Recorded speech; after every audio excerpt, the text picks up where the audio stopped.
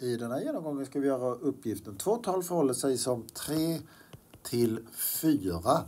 Summan av talen är 24. Det ska vara lika med 20, eller 28. Förlåt, 28. Vilka är talen? Proportion.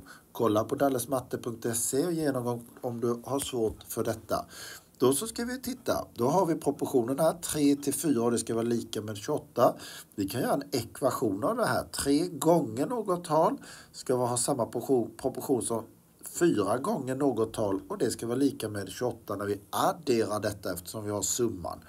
Så det här talet kallar vi för x, det vill säga jag får 3 gånger x plus, eftersom vi har summan, 4 gånger x och det ska vara lika med 28.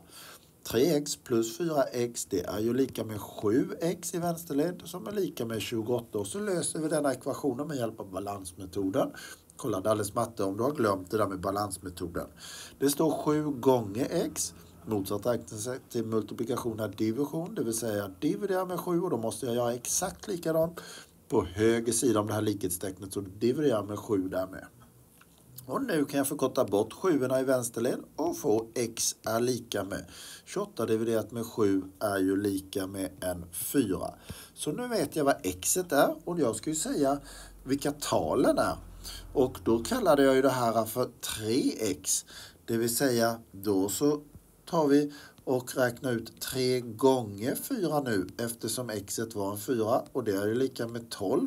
Så talet det här talet här skulle ju då vara, vara 12 och det andra då har vi 4x, det vill säga 4 gånger x som vi sa är en 4 här ju.